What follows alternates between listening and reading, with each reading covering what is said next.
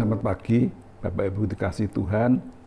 Puji Tuhan pada pagi hari ini kita bersama-sama mengandungkan firman Tuhan dan menerima pada pagi hari ini. Sebelumnya kita Bapak Ibu saya ajak kita berdoa. Segala puji syukur terima kasih Bapak dalam surga buat kasih setia Tuhan, penyertaan Tuhan pada pagi hari ini. Kami dengan tubuh yang sehat karena penyertaan dan pemeliharaan Tuhan. Sebentar kami tidak mengandungkan firman-Mu pada acara menerima ini Tuhan. Urapi firman-Mu Tuhan, berkati firman-Mu itu Tuhan. Firman-Mu ini menjadi tuntunan hidup kami pada hari ini Tuhan. Berkati semua yang mendengar firman Tuhan. Tuhan, jadikan satu kekuatan daripada Engkau. Demi Tuhan Yesus kami serahkan doa ini. Haleluya. Amin. Puji Tuhan Bapak Ibu, saudara sekalian. Sengkai di dalam kehidupan kita bisa mengalami satu musibah, satu yang kesulitan yang mendadak tiba-tiba datangnya. Nah, pada waktu ada masalah mendatangi kita, bagaimana sikap kita itu? Ya, Tuhan mengajarkan biar kita tetap percaya kepada Tuhan, tetap percaya dan sabar menanti waktunya Tuhan. Ya, ada satu kisah yang indah sekali yang terjadi pada waktu dahulu ya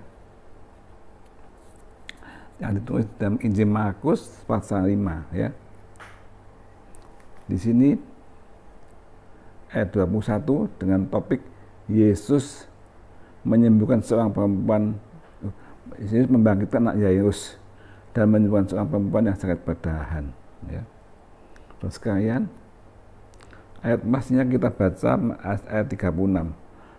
Markus 5 ayat 36. Firman berkata, ketika Yesus masih berbicara dengan datang orang dari keluarga kepala rumah ibadah itu dan berkata, anakmu sudah mati, apa punya lagi engkau menyusahkan menyusah-nyusahkan guru? Ayat 36. Tapi Yesus tidak menghiraukan perkataan mereka dan berkata kepada kepala rumah ibadah itu, jangan takut percaya saja. Ya, sudah ini kisahnya Bapak Ibu ya. Ada kepala rumah ibadat namanya itu Cornelius. Dia anaknya sakit keras dan hampir mati. Dia berharap untuk datang kepada Tuhan. Tuhan minta datang untuk mendoakan anaknya. Tapi saudara, karena Yesus itu waktu berjalan itu banyak orang yang minta tolong ya. Dikelilingi banyak orang. Sehingga Tuhan tidak jalan langsung, tapi berhenti-berhenti dan menyembuhkan orang-orang. Sehingga pada waktu dipanggil sampai dengan sampai tiba ke tempatnya Yairus makan waktu empat hari. Dan menyembuhkan macam-macam orang ya. Salah satunya pada orang perempuan yang pada 12 tahun di tengah-tengah itu juga disembuhkan oleh Tuhan. Nah, pada waktu sampai ke tempat rumahnya Pak Cornelius itu anaknya sudah mati, sudah kan. Ya. Tapi Cornelius tidak berubah imannya, tetap berharap pada Yesus ya. Seringkali kita kalau memanggil pendeta, tidak tahu didoakan apa gimana, pendetanya masih sibuk atau apa acara, datangnya sore hari. Oh, sudah marah-marah, tidak nunggu sabar sudah. Tapi Bapak Yesus ini tidak, dia tidak sabar, tidak marah-marah, tetap percaya dan berharap pada Yesus. Dia menunggu empat hari dan sampai anaknya mati tapi Bapak Bapak Cornelius ini tetap setia ya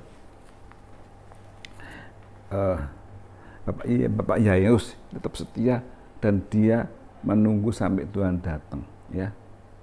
Luar biasa ya. Anak sudah mati tapi Tuhan tetap datang kepadanya. Biarpun sama manusia terhambat tapi Bapak Yairus ini tetap datang pada Tuhan Yesus. Dan Tuhan menguatkan kita sudah ya orang-orang mengemakan imannya.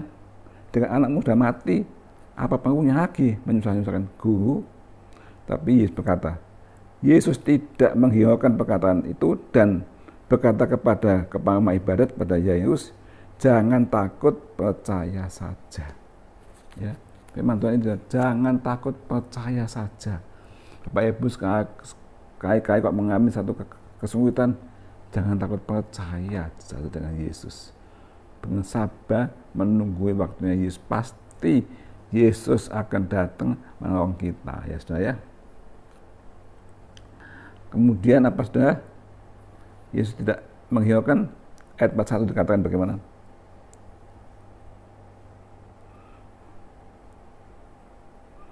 Lalu dipegangnya ke tangan anak itu dan katanya, Taitakum yang berarti, hai anakku, aku berkata kepadamu, bangunlah. Seketika itu juga anak itu bangkit dan berdiri dan berjalan, sebab umurnya sudah 12 tahun, semua orang yang hadir tak takjub. Ya.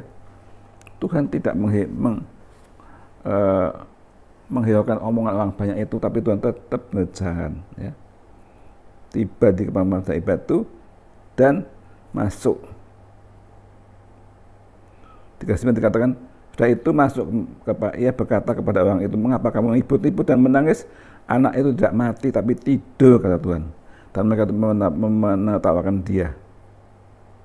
Maka diusirnya semua orang itu, dibayar ayahnya dan ibunya, ya, dan mereka bersama-sama dengan Yesus ke mahkamah itu. Dipegangnya anak itu katanya, Taitakum he, yang berarti he anak aku berkata kepadamu bangunlah saudara sekalian. Orang-orang itu mengemakan imannya. Percuma udah mati. Tapi orang tuanya ini tetap berharap percaya. Dan beliau diajak Tuhan berdua, orang tua dan Yesus masuk ke situ. Dan mujizat dijadikan, saudara ya. Terjadi apa yang tak mustahil bagi manusia tidak mustahil bagi Tuhan. Tetap setia ya dikatakan bangkit dan hidup Maha satu anak itu jadi hidup bangun ya saudara ya. Sudah sekarang ini saudara kadang-kadang kita mempunyai satu masalah yang susah mungkin tidak bisa dibikin manusia. Dan kuahnya, notok sudah. Sudah jangan khawatir. Tidak ada yang mustahil pada Tuhan. Percaya saja, pasti jadi ya.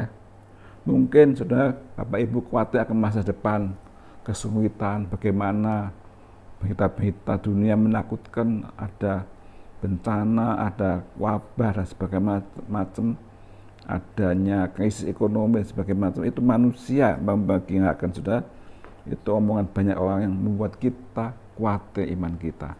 Tapi Tuhan mengatakan jangan takut percaya saja. Ya, mungkin kebutuhan hidup saya waduh sekarang meningkat kebutuhan meningkat mencari penghasilan susah sudah jangan takut sudah kita punya Yesus yang bisa memihara saudara dan saya.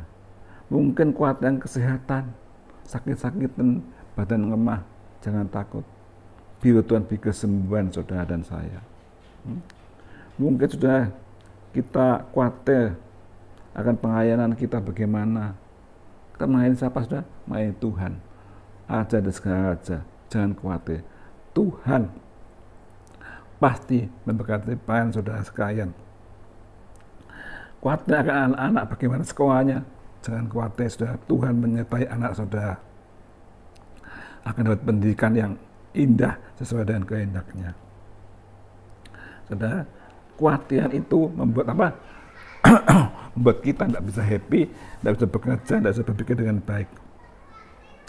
Dan percaya kepada Tuhan Yesus yang bisa melakukan mujizat apa pun juga, saudara sekalian. Saat ini kalau kita dalam keadaan kesulitan, di bawah terjepit, tapi tangan Tuhan bisa menolong saudara saya. Mujizat tidak berhenti.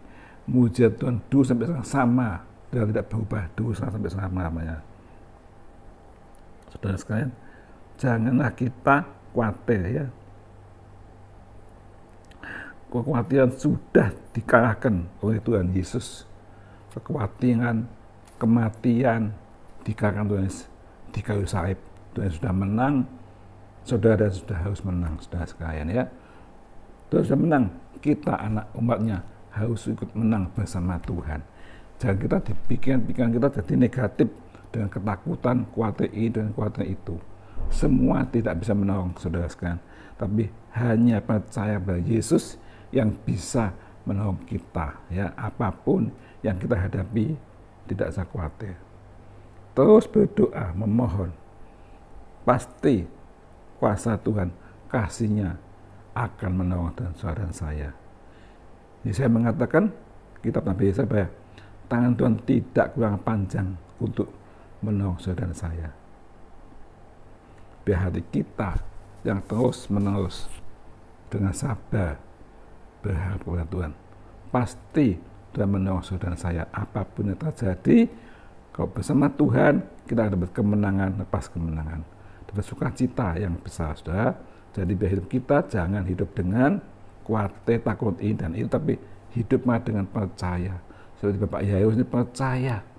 Oh percaya biar orang sudah mati, usaha manusia tidak mungkin, tapi dia sudah datang, hidup sudah sekarang ya. Bapak Ibu, hari ini kita tetap percaya penuh apa pun terjadi, Yesus bisa menolong saudara dan saya ya. Biar kita tetap setia kepada Tuhan, hari ini tetap berharap kepadanya. Terima kasih Tuhan berkati Bapak sekalian. Amin. Mari kita berdoa. Terima kasih Tuhan buat firman pada pagi hari ini Tuhan. Ajar kami Tuhan tetap setia kepadamu Tuhan. Tambahkan iman percaya kami Tuhan, kuatkan iman percaya kami Tuhan menghadapi segala macam masalah di dunia ini Tuhan. Biar iman kami tidak menurun, tidak runtuh. Tapi iman kami tetap setia kepada Tuhan dan berharap kepada Tuhan. Kami percaya Tuhan. Dengan percaya kepada Tuhan, iman yang kami kepada Tuhan kami akan dikuatkan, dipulihkan, dan diberi kemenangan bersama Yesus. Berkati semua anak-anakmu dengan firman Tuhan ini Tuhan, apa yang terjadi, masalah apa terjadi, biar anak tetap berharap pada Tuhan karena kami percaya dan sanggup menolong setiap anak-anakmu Tuhan yang percaya dan setia beriman kepada Tuhan. Nama Tuhan Yesus kemasukan doa haleluya. Amin.